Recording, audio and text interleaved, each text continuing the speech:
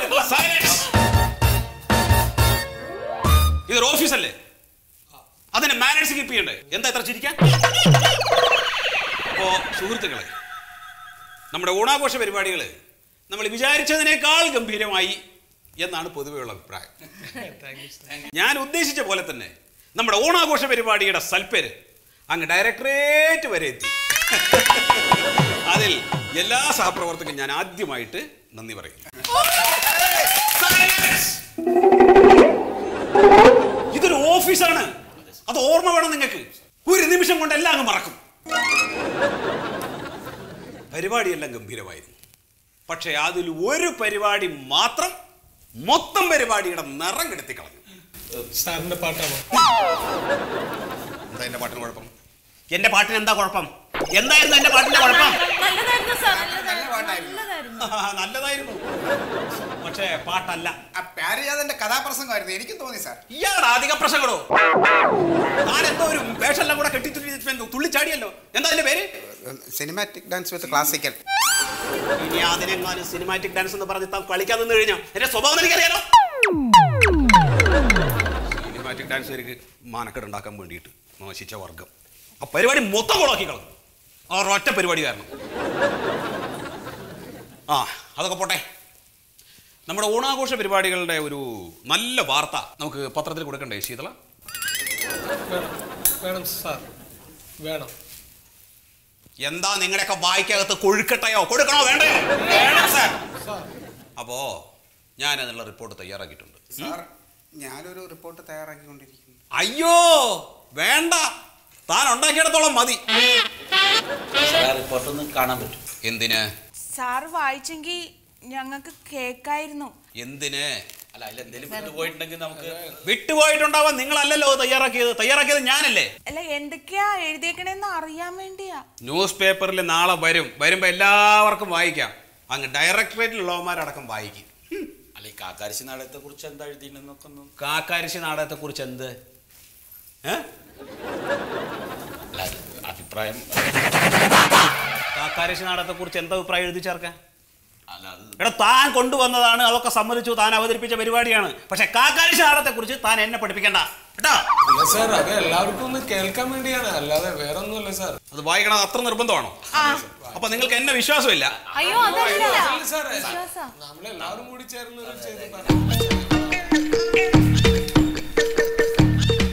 ഇനി നിങ്ങൾ സമ്മതിച്ചാലും ഇല്ലെങ്കിലും ഈ വാർത്തയെ ഞാൻ നാളെ പത്രത്തിൽ കൊടുക്കൂ. സാർ വായിക്കേ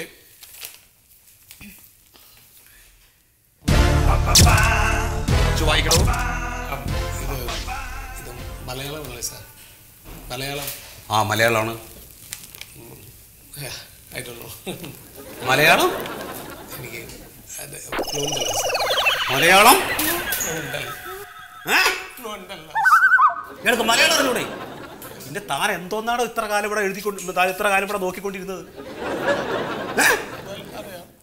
താൻ എന്ത്- താൻ എന്തൊക്കെ ഫയലുകളിലാണോ എന്നെ കൊണ്ട് ഒപ്പിടിച്ചത് മലയാളം അറിഞ്ഞൂടെ?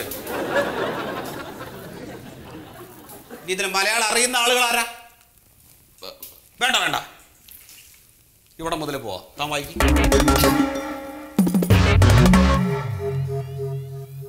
സാമൂഹ്യ നീതി വകുപ്പിന്റെ ആഭിമുഖ്യത്തിൽ വൻപിച്ച ഓണാഘോഷ പരിപാടിക്ക് വെള്ളിയാഴ്ച തുടക്കം കുറിച്ചു. നാടൻ കലാരൂപങ്ങളായ പുലിക്കളിയും കരടികളിയും ഏവരുടെയും ശ്രദ്ധയാകർഷിച്ചു. കേരളീയ വേഷം ധരിച്ച് താളമേളങ്ങളോടെ പത്ത് കിലോമീറ്ററോളം ഘോഷയാത്ര നീണ്ടു നിന്നു ഓണാഘോഷ കമ്മിറ്റിയുടെ ചെയർമാനും സാമൂഹിക നീതി വകുപ്പ് ഉദ്യോഗസ്ഥനുമായ ശ്രീ സത്യശീലൻ പരിപാടികൾക്ക് നേതൃത്വം നൽകി.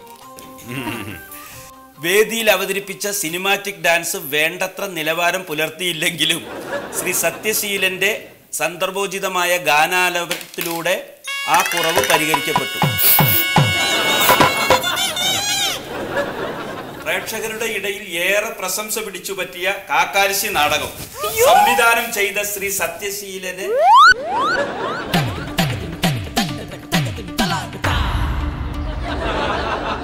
കണ്ടു നിന്നവർ പൊന്നാട അണിയിച്ചു. സൂര്യൻ സാറല്ലേ അത് സംവിധാനം?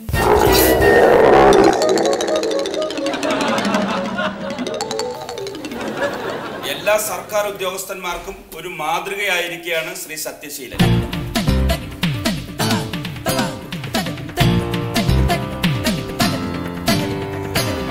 ശരിയല്ല. ശരിയാണല്ലോ അല്ലേ? ഈ റിപ്പോർട്ട് മതിയല്ലോ. എന്ത് പണിയാ സാറെ കാണിച്ചത്? കാക്കാരിശ് നാടൻ സംവിധാനം ചെയ്തത് ഞാനല്ലേ? പിന്നെ സാറിന്റെ പേര് വെച്ചെന്താ എടോ ആരുടെ പേര് വെക്കണം ആരുടെ പേര് വെക്കണ്ടെന്ന് തീരുമാനിക്കുന്നത് ഞാനാണ്. അതായത് സാറേ എന്നോട് കാണിച്ച് ഭയങ്കര ചതിയായി പോയി സാറേ. ഇന്നലെ സ്റ്റേജിൽ തന്നെ എന്നെ ഡാൻസ് ഫുള്ളായിട്ട് കളിക്കാൻ സമ്മതിച്ചില്ല. പോരാതിനിപ്പോ പത്രത്തിൽ കൂടെ എന്റെ? എന്തുകൊണ്ടാ ഞാൻ അങ്ങനെ പറഞ്ഞത്? എന്തുകൊണ്ടാ പറഞ്ഞത്? തന്നോടുള്ള വിരോധം കൊണ്ടല്ലല്ലോ. അത് കൊള്ളൂല്ല. അതുകൊണ്ടാ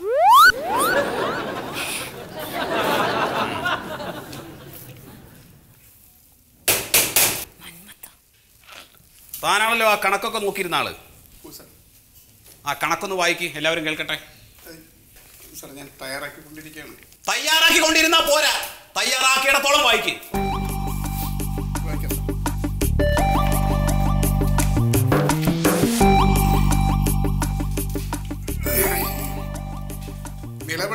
രണ്ടായിരത്തി അഞ്ഞൂറ് രൂപ. ബാക്കി. പൂവ് അയ്യായിരം രൂപ. ഫോട്ടോഗ്രാഫർ മൂവായിരത്തി അഞ്ഞൂറ് രൂപ. ഫോട്ടോഗ്രാഫർക്ക് മൂവായിരത്തി അഞ്ഞൂറ് രൂപയോ എടാ മൊബൈലിൽ ഫോട്ടോ എടുക്കുന്നുണ്ടല്ലോ. പിന്നെ എന്തിനാ ഫോട്ടോഗ്രാഫർക്ക് മൂവായിരത്തി അഞ്ഞൂറ് രൂപ? സാർ ഇത് ആൽബം ആക്കി തരും. പിന്നെ മൈക്ക് സെറ്റ് എണ്ണായിരം രൂപ. കോസ്റ്റ്യൂം വാടക പതിനായിരം രൂപ.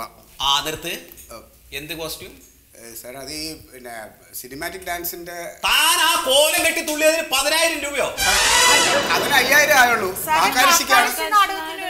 ആ അതിനാണ് അയ്യായിരം ആയത്. എന്റെ അതിന് വെറും അയ്യായിരം ആയുള്ളൂ.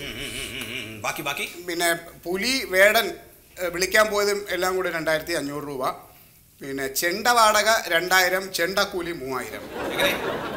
ചെണ്ട വാടക രണ്ടായിരം ചെണ്ടക്കൂലി മൂവായിരം. ചെണ്ട കൊണ്ടുവരാനുള്ള കൂലി മൂവായിരം രൂപയോ? അല്ല സാർ നമ്മൾ ചെണ്ട എടുത്ത വേറൊരു സ്ഥലത്തു നിന്നാണ് അതിന് തല്ലാനായിട്ടുള്ള ആൾ വേറെ സ്ഥലത്തു ആ കോലി വേറെ സ്ഥലത്ത് നിന്ന് ആ മനസ്സിലായി നമ്മൾ മനസ്സിലാവുന്നു. ഉദ്ദേശിച്ച സ്ഥലത്ത് നിന്ന് കിട്ടിയില്ല. എല്ലാം എനിക്ക് മനസ്സിലാവുന്നുണ്ട്. ബാക്കി ബാക്കി. ഏ, പിന്നെ കാക്കാരുശിക്ക് ആറായിരം രൂപ. ഭക്ഷണം ഏഴായിരത്തി അഞ്ഞൂറ് രൂപ. പിന്നെ മറ്റിനും ആയിരത്തി ഇരുന്നൂറ്റി മുപ്പത്തി ആറ് ആകെ മൊത്തം അമ്പത്തി എണ്ണായിരത്തി എഴുന്നൂറ്റി മുപ്പത്തി ആറ് രൂപയായിട്ടുണ്ട് ഇയാൾ ഇപ്പൊ ഇവിടെ അവതരിപ്പിച്ച കണക്കിൽ പകുതി കള്ള കണക്കാണ് ഞാൻ ഇതിലേക്ക് ഒരു പതിനായിരം രൂപ തരും. ബാക്കി എല്ലാവരും കൂടെ അങ്ങ് എടുത്തോളാം. സാറ് തരാന്ന് പറഞ്ഞിട്ട് ഞങ്ങൾ ഇതിന് ഇറങ്ങി മുഴുവൻ പൈസ ആര് തരാന്ന് പറഞ്ഞു? ഞാൻ പറഞ്ഞോ. ഞാൻ എപ്പോ പറഞ്ഞു. ഞാൻ ഒറ്റയ്ക്കല്ലല്ലോ ആഘോഷിച്ചത്. എല്ലാവരും ചേർന്നിട്ടല്ലേ ഓണം ആഘോഷിച്ചത്? ഇയാളുടെ സിനിമാറ്റിക് ഡാൻസ് അടക്കം കണ്ടില്ലേ? അത് കാണേണ്ട ഗതി നമുക്ക് വന്നില്ലേ? ഇനി ഒന്നുമില്ല. ഇനി ഇതിന് വേറെ വർത്തമാനമില്ല. പതിനായിരം രൂപ ഞാൻ തരും. അതിനപ്പുറത്തേക്ക് വേറെ ഒന്നുമില്ല. സാറ് ഞങ്ങളുടെ പൈസ ഇല്ല. ഇല്ല. പൈസ ഇല്ല എന്റെ ഒരു പേഴ്സണൽ കണക്കുണ്ട് സാർ പറയണോ ഇയാൾക്ക് മലയാളം അറിയാവോ മലയാളം. അതുപോലെ അറിയാത്ത തായി എന്തോന്ന് പറയാൻ? സാർ സാർ ലാസ്റ്റ് ടൈമിൽ സാറിന് പൊന്നാട അണിയിക്കാൻ പൊന്നാട മേടിക്കാൻ പറഞ്ഞില്ലേ എന്നോട്? ഞാനത് മേടിച്ചു എന്റെ പോക്കറ്റിൽ നിന്ന് കാശെടുത്ത് മേടിച്ചു സാർ ആ, അതിന്? എഴുന്നൂറ്റി- എഴുന്നൂറ്റമ്പത് രൂപ പൊന്നാട പത്ത് പൈസ ഞാൻ തരില്ല. ഞാൻ മാത്രമൊന്നുമല്ല അവിടെ പല ആളുകളും എന്നെ പൊന്നാട അണിയിച്ചിട്ടുണ്ട്. നിങ്ങൾ എല്ലാവരും കണ്ടതല്ലേ? ഇല്ല സാർ ഇത് സാർ പറഞ്ഞിട്ട് മേടിച്ചാണ് ആ തരില്ലെന്നാ പറഞ്ഞത്. ഇനി ആരൊക്കെ എന്തൊക്കെ പറഞ്ഞാലും ഈ കള്ളക്കണക്കിലേക്ക് പതിനായിരം രൂപയിൽ കൂടുതൽ ഒരു പൈസ ഞാൻ തരില്ല.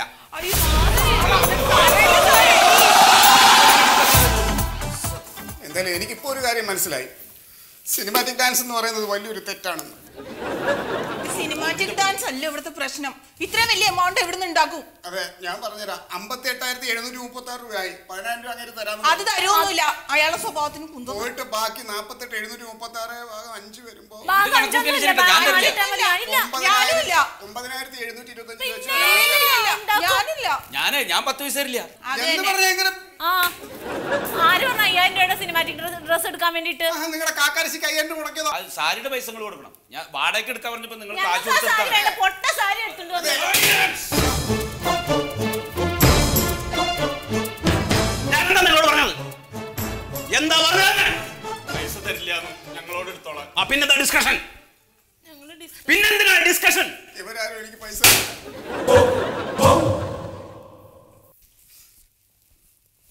ഇനി എങ്ങാനും താ തുള്ളി കളിച്ച. ഇയാൾ അന്ന് തന്നെ ഊണാണ്ട് വീണ് ചത്താ മതിയായിരുന്നു.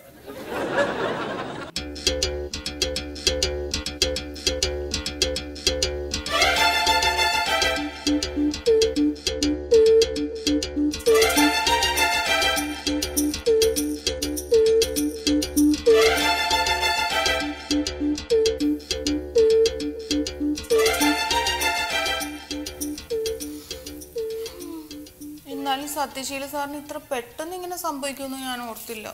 അത് കുഴപ്പമില്ല. എന്നാലുവേ ഈ ഡയറക്ടറേറ്റ് വരെ അറിഞ്ഞില്ലേ നമ്മുടെ ഇവിടുത്തെ ഓണാഘോഷ പരിപാടിയൊക്കെ ഗംഭീരമായി എന്ന്? പിന്നെ എന്ത് കാര്യത്തിനാണ് സസ്പെൻഡ് ചെയ്തത്? എന്താ കാര്യം? പിറ്റേ ദിവസം ഇവിടെ ഉണ്ടായ പോലെ എല്ലാവരും അറിഞ്ഞില്ലേ? കണക്ക് കാണിക്കുമ്പോൾ എനിക്ക് നേരത്തെ തോന്നി ഇങ്ങനെയൊക്കെ വരുമെന്ന്. കാരണം അത്രയ്ക്കാണ് എന്നെ മനസ്സ് വിഷമിപ്പിച്ചത്. ഒരു കലാകാരന്റെ മനസ്സ് വിഷമിച്ചുണ്ടല്ലോ ഇതിലും അപ്പുറം സംഭവിക്കും. എനിക്ക് തോന്നുന്നു മന്മഥൻ എന്തോ പണി ഒപ്പിച്ചു ഹേയ് അതെന്താ സുഖമായിട്ട് അങ്ങനെ പറയണേ? എനിക്കും കിട്ടിയില്ലേ വാണിംഗ് ലെറ്റർ ഞാൻ പിന്നെ അങ്ങനെ ചെയ്യുമോ അത് ശരിയാ. പക്ഷെ ഇവിടുത്തെ കാര്യം എങ്ങനെ അവിടെ അറിഞ്ഞു? അതൊക്കെ അല്ല എന്തായാലും അത് കിട്ടേണ്ടതായിരുന്നു. എന്തായിരുന്നു ഇവിടെ കിടന്ന് തുള്ളൽ? അതെ കുറച്ച് ദിവസമായിട്ട് എന്ത് പറഞ്ഞാലും നമ്മൾ ഉഴപ്പായിരുന്നു കേട്ടോ. ആ. ഇനിയിപ്പോൾ സത്യശീലൻ സാറിന്റെ അതേ അവസ്ഥ നമുക്ക് വരാണ്ടിരിക്കണമെങ്കിൽ ജോലി ചെയ്യാൻ നോക്ക്.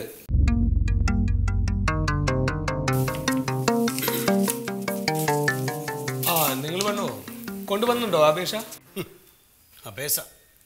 മൂപ്പരിപ്പ ചോദിച്ച അപേക്ഷയായിട്ടേ ഈ ഓഫീസിന്റെ പടി മൂന്ന് പ്രാവശ്യം നമ്മൾ കയറി വന്നിനി. അല്ല അന്ന് ഓണം സെലിബ്രേഷൻ ഞങ്ങൾ മേടിച്ചില്ലല്ലോ. ആ നിങ്ങൾ തിരക്കിലേനി. നിങ്ങൾ എല്ലാവരും പാട്ടിന്റെ ഡാൻസിന്റെ ഒക്കെ തിരക്കിലേനി. കാരണം നമ്മളെ കാര്യം എന്താണെന്ന് ചോദിക്കാൻ പോലും നിങ്ങൾക്ക് ആർക്കും സമയം ഉണ്ടായില്ല. അതുകൊണ്ട് കൊടുക്കേണ്ടടുത്ത് നമ്മൾ അപേക്ഷ കൊടുത്ത്. അതിന്റെ മറുപടി നിങ്ങളെ സത്യശീലൻ സാറിന് കിട്ടുകയും ചെയ്തു നിങ്ങൾ സസ്പെൻസ് അപ്പോൾ നിങ്ങളാണ് സാറിനെതിരെ കംപ്ലൈന്റ് കൊടുത്തത്? നമ്മളാ കൊടുത്തത്. നമ്മളെ കൊണ്ട് കൊടുപ്പിച്ചതാ നിങ്ങളെ സാറ്. മാണ്ടാ മാണ്ടാന്ന് വിചാരിച്ചാ നമ്മൾ ഈ ഓഫീസിന്റെ പേരെന്താണെന്നറിയും നിങ്ങൾക്ക് സാമൂഹ്യ നീതി വകുപ്പാ. ഇവിടെ വരുന്നവർക്ക് നീതി കിട്ടണം. നിങ്ങളൊക്കെ ഒരു കാര്യം മനസ്സിലാക്കിയാൽ നന്ന്. നമ്മളെപ്പോലുള്ള സാധാരണക്കാരെ കാര്യങ്ങൾ നോക്കാനാണ് സർക്കാർ നിങ്ങൾക്കൊക്കെ ശമ്പളം തരുന്നത്. അറിയോ നിങ്ങൾക്ക് ആഘോഷം വേണമെന്നൊന്നും നമ്മൾ പറഞ്ഞിട്ടില്ല. നിങ്ങൾ ആഘോഷിച്ചോളി. പക്ഷെ ഇങ്ങനത്തെ കാര്യങ്ങളൊക്കെ ചെയ്യേണ്ട കാര്യങ്ങൾ ചെയ്തിട്ട് നിങ്ങൾ ആഘോഷിക്കാവൂ. അതിന് വേറെ സമയം കണ്ടെത്തണം നിങ്ങൾ. ഒരു ഉപ്പാന്റെ ബസ്മേറ്റാണ് നമ്മളിവിടെ വന്നത് മറിമായം.